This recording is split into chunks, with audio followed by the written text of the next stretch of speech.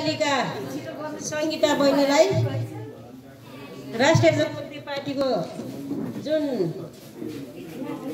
हिमाल नगरपालिकाको छैटौँ अधिवेशनका अध्यक्षता गरिरहनुभएका अध्यक्षज्यू त्यस्तै गरी विशेष अतिथिज्यूहरू अतिथिज्यूहरू र यो हिमाल नगरपालिकाको छैटौँ नगर अधिवेशन सम्पन्न गर्न आउनुभएका सम्पूर्ण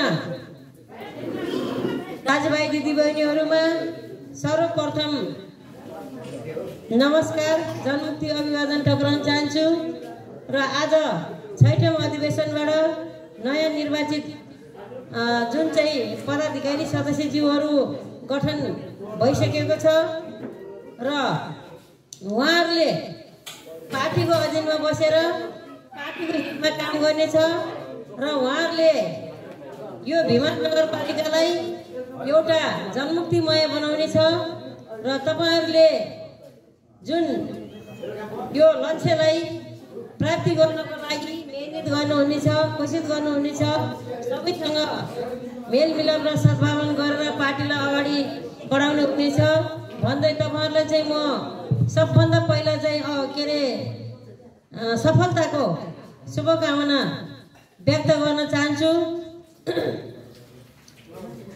धेरै कुराहरू पूर्वोक्त साथीहरूले भनिसक्नु भएको छ। जुन पूर्वोक्त साथीहरूबाट जनमुक्तिको विषयमा धेरै मिठा मिठा र हिजोका वास्तविकता कुराहरू गरेर धेरै साथीहरूले राखिसक्नु भएको भएर मैले समयको पनि पाउबन्दी भएको हुनाले र धेरै समय र घर घर्किसकेको छ। त्यस कारणले मैले धेरै कुराहरू राख्न चाहन्न।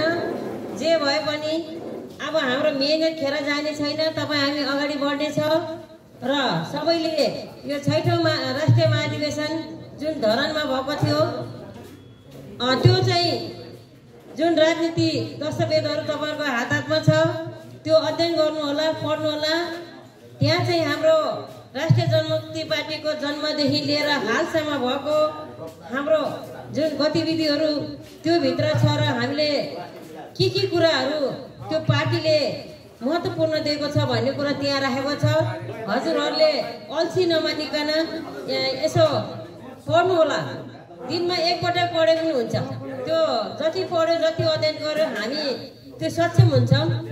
र त्यसैले तपाईँहरूले जुन लक्ष्यहरू लिनु भएको छ विमान नगरपालिकालाई फेरि पनि धेरैभन्दा धेरै यो जनमुक्तिका सदस्यहरू बनाउनको लागि लागिरहनु भएको छ घर दैलो गर्नु भएको छ। त्यो अझै पनि निरन्तर तपाईँहरू लागिरहनुहोस् र हामी चाहिँ पक्कै पनि अब आउने आगामी निर्वाचनमा चाहिँ जित्नेछौँ। जितेर देखाउनेछौँ र जिताउनेछौँ त्यो लक्ष्यहरूको लागि मान लक्ष्य प्राप्तिको लागि सबै लाग्नु पर्नेछ यो चाहिँ एउटा सेवा हो। यो राजनीति भन्ने कुरा पनि सबैलाई एउटा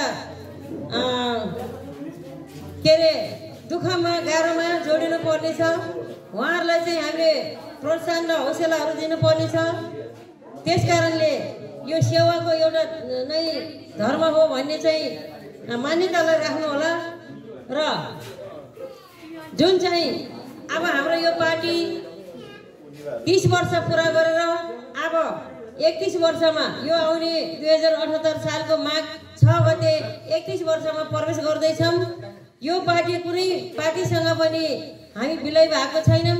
कुनै पार्टीसँग चाहिँ के अरे जुन लोभ र लालचमा पनि हिँडेको छैन। जुन हाम्रो निरन्तर चाहिँ जारी छ हामी चाहिँ हाम्रो गति चाहिँ जुन चाहिँ गर्नुपर्ने हाम्रो निरन्तर सङ्घर्षहरू अगाडि बढिरहेको छ त्यो सङ्घर्ष हामी अघि नै साथीहरूले भन्नुभएको छ जनमुक्ति पार्टीले कहिले पनि हरेस खाने छैन निराशा हुने छैन। हामी एउटा एकदमै अमूल्य एउटा जडीबुटी जस्तो हो। भोलि यो नेपाल र नेपालीलाई र राष्ट्रलाई चाहिने जुन यो जनमुक्ति पार्टीले लिएको लक्ष्य नै यो देशलाई चाहिँ आवश्यक छ भनेर यहाँ एकदम महान विद्वानहरू अग्रजहरूले सोचेर यो जुन सबै जात जातिको लागि भाषा धर्म संस्कृतिको लागि होइन सबै खाले विभेदको लागि अन्त्य गर्नको लागि र आफ्नो यो स्थापित जुन लक्ष्यहरूलाई प्राप्ति गर्नको लागि लागिरहेको छ। र त्यस कारणले यसमा सबभन्दा ठुलो कुरा चाहिँ भ्रष्टाचार पनि हो नेपालमा। जुन भ्रष्टाचार मौलिरहेछ त्यो भ्रष्टाचार चाहिँ एउटा शत्रुको रूपमा के अरे एकदमै बढेर आएको छ।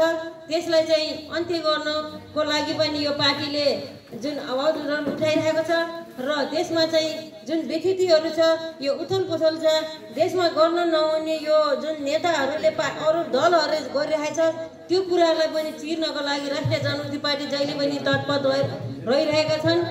र अब आउँदो दिनमा चाहिँ तपाईँ हामी अवश्य पनि जितेर जुन राज्य सत्ताको मालिक बन्नेछन् भन्ने चाहिँ आशाहरू बोक्नुहोला र सङ्गठनमा एकदम जोडिनुहोला। हाम्रो जनता जागो अभियान यो चाहिँ दुई हजार अठहत्तर मङ्सिर बिस गतिदेखि फागुनको दुई हजार के अरे मङ्सिरको एक्काइसदेखि फागुनको बिस गतिसम्म यो चाहिँ एकदमै निरन्तर रूपमा चाहिँ अगाडि बढिरहेको छ। र त्यसको फेरि पनि हाम्रो भोलि यही कार्यक्रम र एउटा महत्त्वपूर्ण कार्यक्रम छ। होइन? यही तनहुँ जिल्लाको शुक्ला गण्डकी नगरपालिकामा हाम्रो खैरिन टारमा छ। त्यसमा पनि तपाईँहरू अवश्य चाहिँ आउनुहोला। त्यहाँ चाहिँ आएर फेरि पनि तपाईँहरूले चाहिँ धेरै नौलो नयाँ कुराहरू चाहिँ लिएर फेरि घर घरमा गएर र जनताको घर दैलोमा पुर्याउनु हुनेछ भन्ने आशाहरू राख्दै तपाईँहरूलाई चाहिँ फेरि पनि पुनः हार्दिक बधाई तथा शुभ शुभकामना दिँदै आजको जुन चाहिँ यो न भिमाट नगरपालिकाको अ, अधिवेशनमा नगर अधिवेशनमा बोलाएर मलाई प्रमुख अतिथिको स्थान दिनुभएको छ र मलाई आफ्नो भनाइ पनि राख्न दिनुभएकोमा सम्पूर्ण जुन आयोजक टिमलाई पनि धन्यवाद दिँदै म बिदा हुन चाहन्छु। हस्त धन्यवाद। नमस्कार।